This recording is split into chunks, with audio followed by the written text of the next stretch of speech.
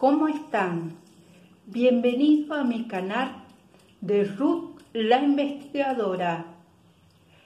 Hoy te voy a leer eh, una leyenda argentina, el ceibo, flor nacional de la República Argentina donde vivo.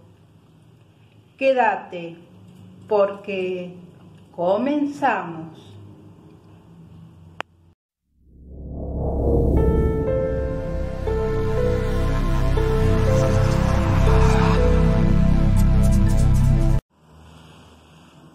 La leyenda del ceibo.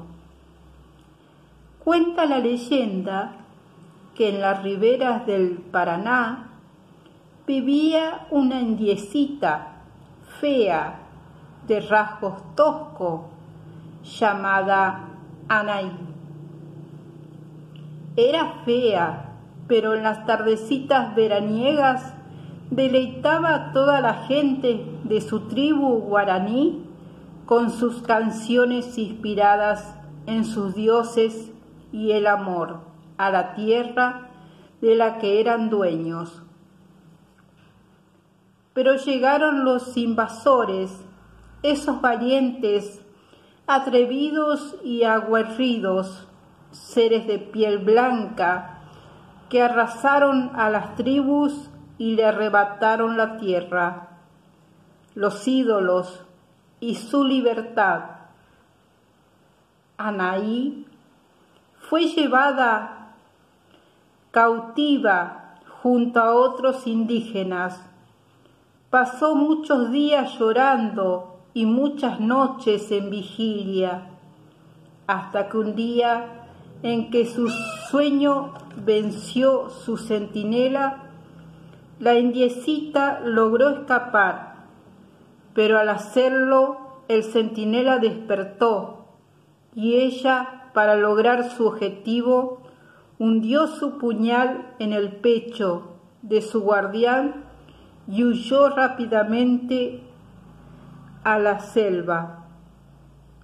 El grito de moribundo carcelero despertó a los otros españoles que salieron en una persecución que se convirtió en cacería de la pobre Anaí, quien al rato fue alcanzada por los conquistadores, esto en venganza por la muerte del guardián.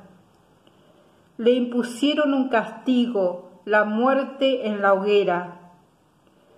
La ataron a un árbol que iniciaron el fuego que parecía no querer alargar sus llamas.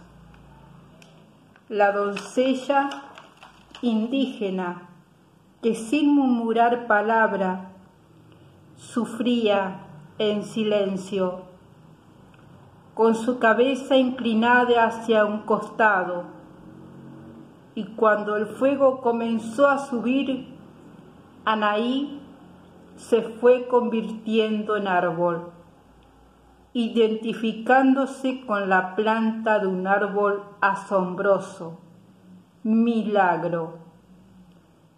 Al día siguiente, al amanecer, los soldados se encontraron ante el espectáculo de un hermoso árbol verdes, hojas relucientes y flor roja artesiopelada que se mostraba en todo su esplendor, como el símbolo de valentía y fortaleza ante el sufrimiento.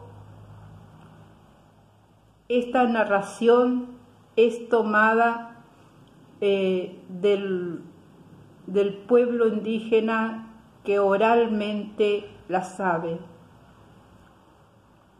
¿Qué te pareció esta leyenda argentina del ceibo, flor nacional de nuestra República Argentina?